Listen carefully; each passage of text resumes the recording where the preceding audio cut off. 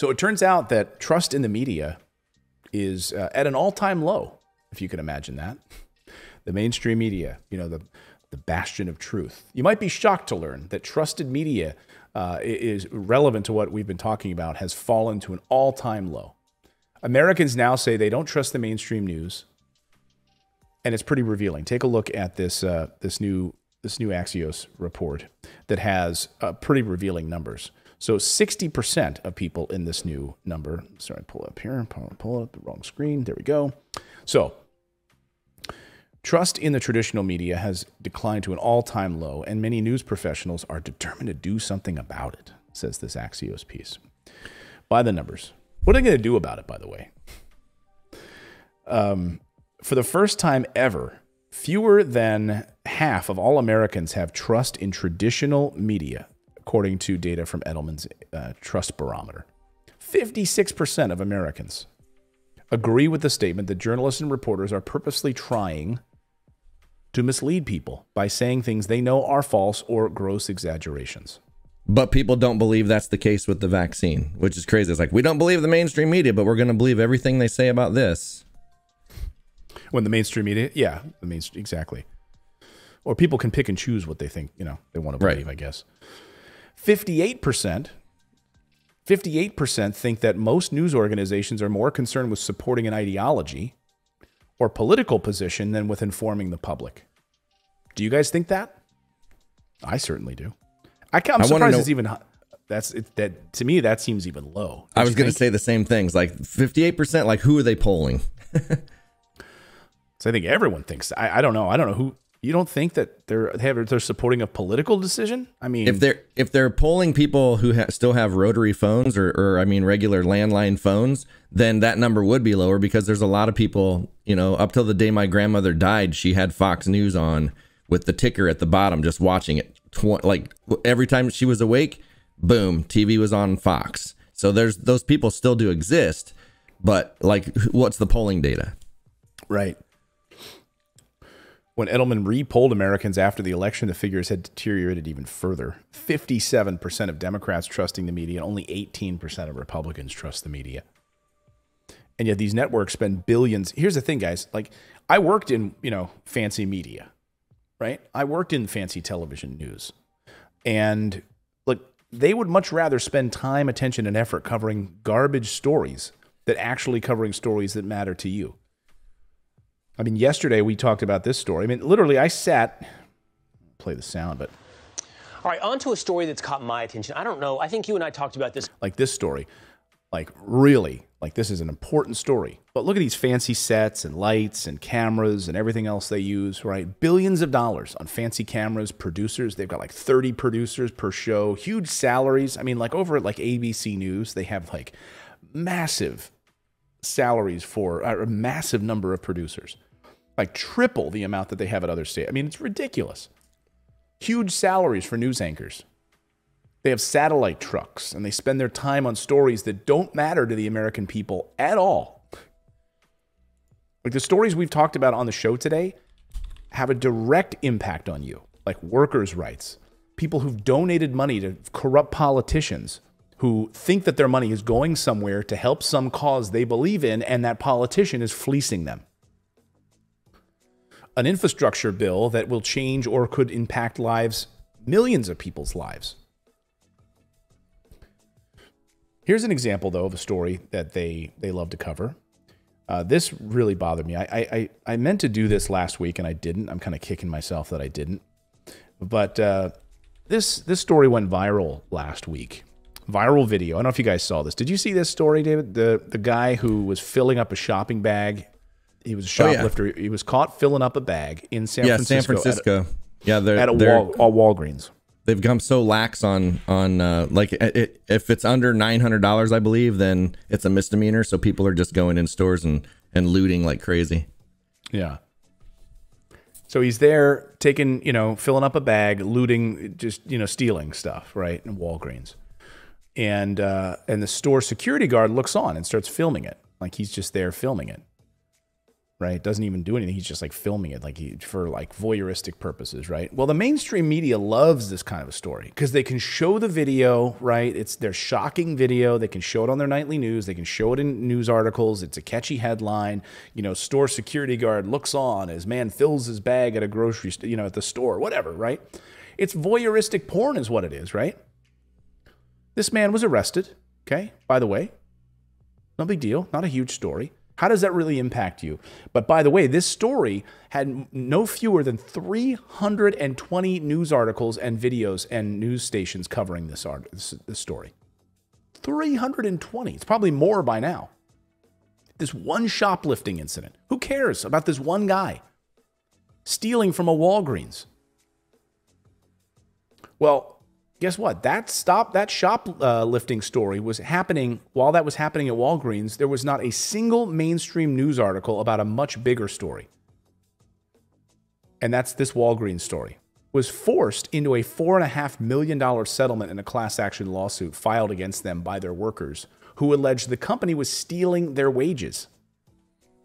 You can see by this fair.org piece. They were stealing their wages. Basically, Walgreens uh, rounded down the employees' hours on their time cards. So when they would check in, it would round it down instead of up. And it would be, and it, they also required employees to pay their security checks before and after their shift without compensating them for their time worked. And they failed to pay them premium wages to employees who were denied legally required meal breaks. So they weren't paying them when they should have had a legally required meal break. And they were rounding down their paychecks. But there's no really cool viral video behind that one, Clayton.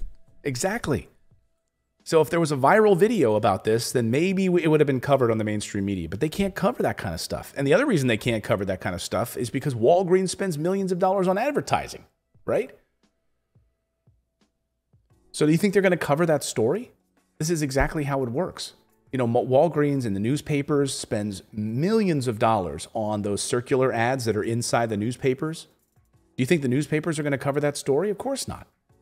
Do you think the news stations are going to cover that story? Of course not, because they make advertising. They lie to you by excluding the real stories. I mean, it's a, to me, it's a way of lying, right? They're not they're not outright coming out and lying, but they're basically lying. It's called lying by omission. Lying by omission, yeah. Or this week. I mean, that's this, what that's all our right. mainstream media is anyway, is lying by omission. That's they they don't tell us anything of substance. It's all um, you know, sensationalized and hyped up or whatever they can find that's that they can like sensationalize or make uh they got a viral video around it or whatever. Like that's what they want because those are what people click. They want the clickbait. That's all they want. Or this week, how many of you watching right now f- knew that there was a Medicare for All rally in 40 cities across the country. Did any of you know that? Did you, David? I did. Yeah, I knew that. I watched some of the live coverage with Jimmy Dore. I didn't even see that to be honest with you, but I I mean literally no mainstream media covering this story. And did you see how many people were in LA? Like it was there were a lot of people out there. A yeah. lot. Look at all these people. Did you see any mainstream media coverage in 40 cities across the country? I sure didn't see any coverage on it. How many people here watching right now saw Medicare for All rallies covered on your media, on Fox, on MSNBC, on CNN, or any of the big media stations? Has any of them? Have any of you seen that? I'm curious here in the chat if anyone's seen that. No, the only reason I knew is because I saw a guy, Jackson Hinkle, uh, posted it on YouTube, and then I was like, oh, there's a rally. Then I looked and saw how many people were there, and I was like shocked that there wasn't more, you know, news around it anywhere. Yeah, Shirley says not me. Lisa Pettit says I saw nothing. Arlene Morrow says nope. Daniel says I didn't nope. even see any posts on social media. Yeah, Mark Sparks says to hell with the mainstream media, bunch of jerks. I don't see it, but I don't watch TV. Yvonne says not on media. Nope, nope, nope. I didn't. I didn't. Nope, nope, nope. What is it? I didn't see a thing. It was rallies across the country demanding Medicare for all, for all Americans, health care for all Americans. Where's the mainstream media covering this story? No, they'd much rather go out and like cover, you know, like the, the controversy over a Black Lives Matter protest or whatever, right? They'd, they'd much rather go cover that. They'd much rather go if there's if there's like cultural controversy, they can go cover that because that'll drive ratings, right? Anytime they can put a wedge between Americans, They they will cover that. But could you imagine Fox coming out and saying, "We know we're going to go live this morning to uh, to uh, downtown Los Angeles, where there's a huge protest demanding Medicare for all." I mean, no. Here's one reporter that I saw. I mean, they- one reporter. This is the only reporter I could find at this uh, WGN out of Chicago. That's Did it. they get? Uh, they didn't even put Bernie Sanders or AOC's speeches on on the news. No, nothing. I wonder why. Because I don't. I guess they weren't there. I guess. Yeah, but there were protests outside of uh, AOC's office for Medicare for all. I didn't It's see what that she ran on, and she wasn't there to support. no. she ran on that. There were protests outside of her office on it. Jeez. But you know, I bring this up. I bring up the Medicare for all story because there was no coverage of it. Nothing. No coverage on the mainstream media. 40 different cities with a huge rallies around demanding health care for everyone. President of the United States could have shown up, right? He could have gone to one of them. He could have used that as ballast for his ship on providing health care for the United for Americans. No, ignored, ignored, ignored. And here's the thing if the president would have gone to that, how much more attention would it have drawn with the cameras? Ignored. But that, you know, that's the mainstream media. But I will say there is a silver lining in all of this because all of this could collapse really soon. Mainstream media is ready to fall into the ocean. I mean, we're already seeing it with the Olympic coverage from NBC, like no one's watching right? People are coming here to this show. You guys support this show and independent journalism. You're subscribing to this every morning. You're watching this show instead of watching that crap. You're getting real news here and you're for free just by subscribing to the channel.